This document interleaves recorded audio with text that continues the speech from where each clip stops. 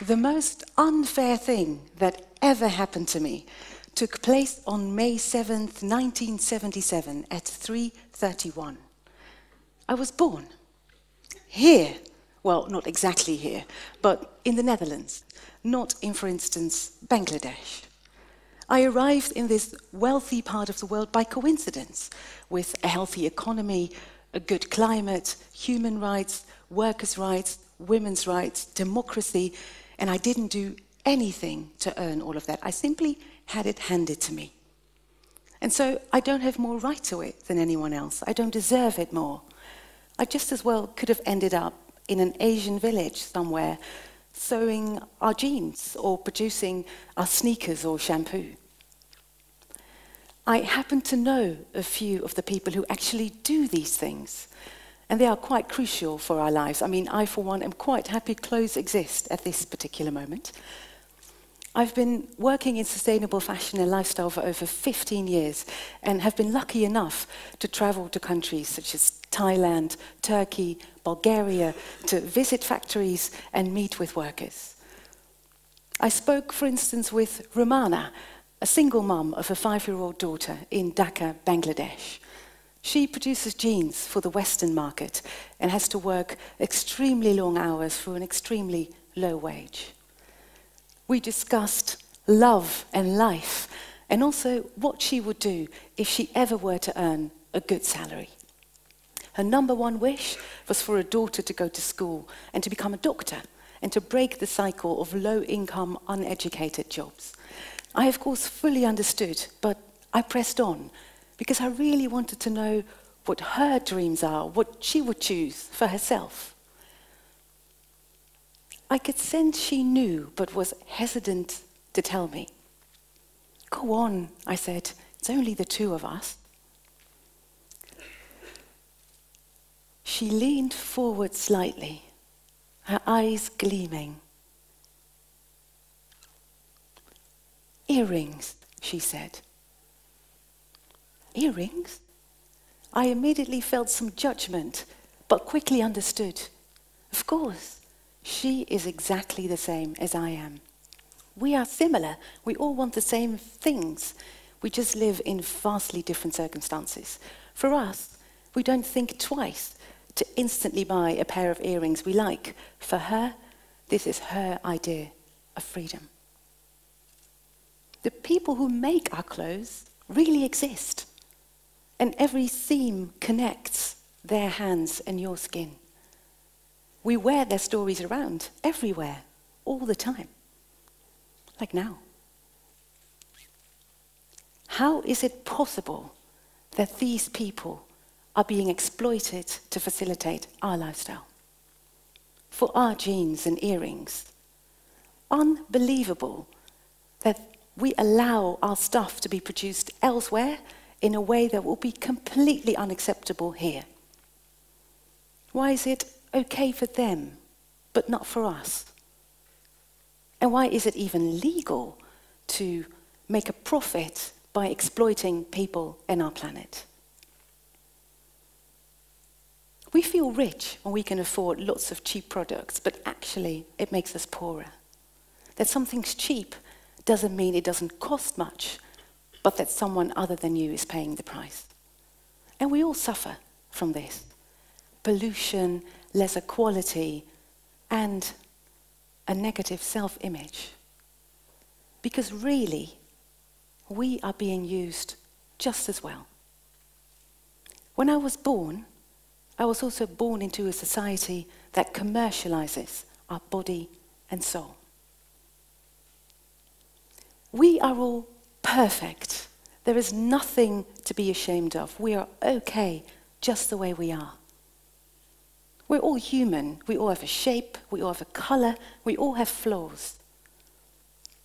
Nothing you buy can increase your self love and self worth. That is entirely ours.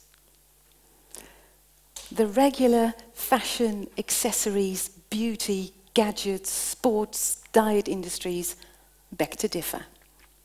We are not good enough. You're not beautiful enough. Your skin isn't glowing or smooth or the right shade. You're not skinny enough. You don't wear the right clothes. You're not on trend. You don't look like the model, which is actually impossible anyway, is almost without exception. They are very slim, young, tall, and white. The ideal we have to live up to in the lifestyle industry is ridiculously limited. In short, you don't look like you're supposed to look, only when you buy will you belong. Much of the messaging is specifically intended to make us feel bad about ourselves to then offer us the solution, their products. We know it doesn't work, and yet we keep trying. And so we're not only talked into having a problem and offered a solution that doesn't work, we're also lured, sort of tricked into incessantly buying more and more, which makes it almost impossible to become truly sustainable. People are getting rich thanks to our low self esteem, our doubts and insecurities, and the world suffers. This commercialization of our body image lies at the heart of our struggle to change our behavior.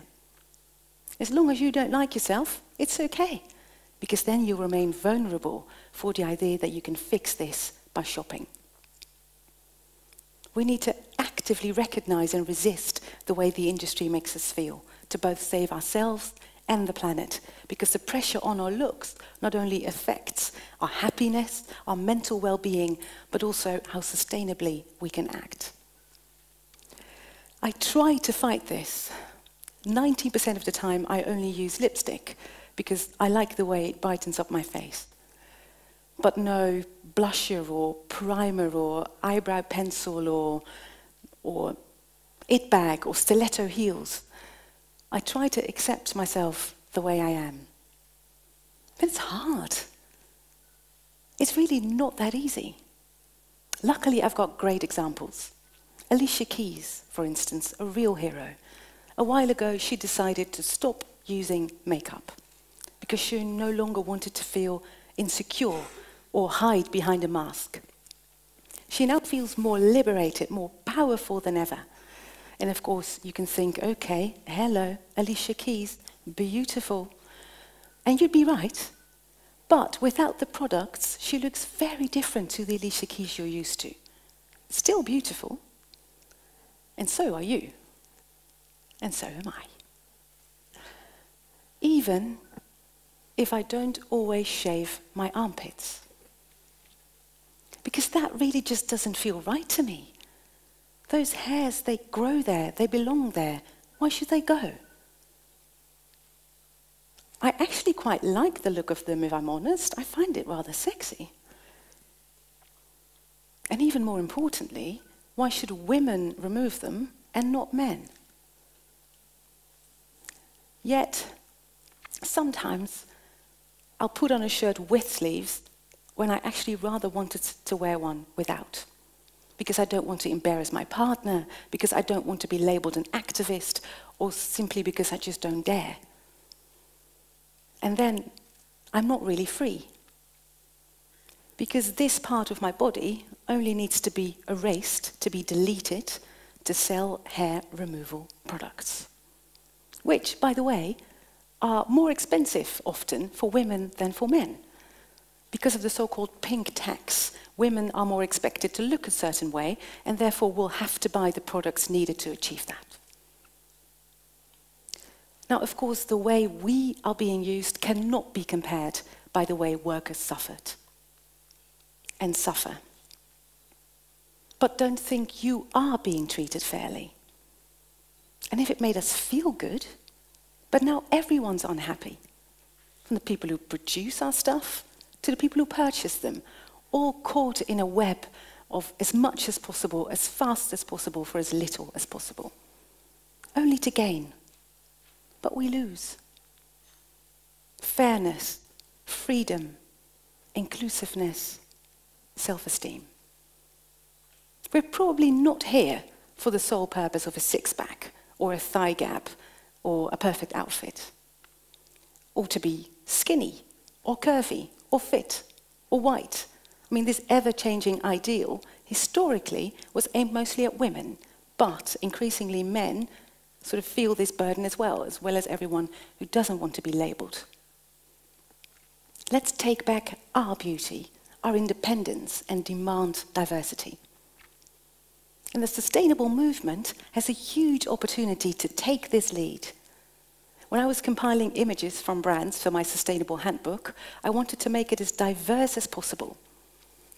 That wasn't as easy as I thought it would be. I was sent quite some photo shoots with models from different backgrounds, which was great, but in terms of body size, there's still very little variety. So my own book doesn't really represent myself because my shape really isn't in there. Now, of course, I fully understand that sustainable brands want to show that they are exactly the same as regular ones, that you don't get anything less. But here, it's actually a good thing to be different, to show how stylish all sizes, all shapes, all colors, all ages can be. And there are some great examples of that already. It's time to make a change, and the sustainable brands can direct us towards a new system where we're all being celebrated, included instead of excluded, and where products are offered that we buy when we actually need them and that will make us feel better. Of course, we customers can do a lot ourselves as well. Every time you buy something, you actually say to the store or to the brand, I love what you're doing. Please take my money to continue. Choose from brands who, who treat all of us, from the worker to the wearer, with respect. Because every small step, every action can have a huge effect. You can have as much impact as a drop of ink transforming the color of an entire jug of water. We made this world, so we can change it as well. Who else? Let's try and be less tempted to always want more, different, improved. Be aware of the message and how it makes you feel. Let your voice be heard and take back your freedom. You are okay. Being able to be yourself and to not suffer from oppression, exploitation, or a limiting ideal picture should apply to everyone, here or there. We're all one. This is the new green wave. Doing good, looking good, and feeling great at the same time. Thank you.